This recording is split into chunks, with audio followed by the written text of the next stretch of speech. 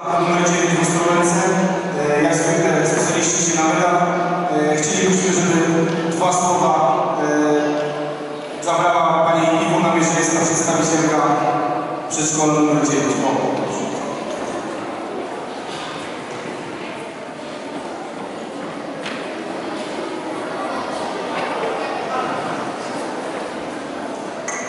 Witam Steuern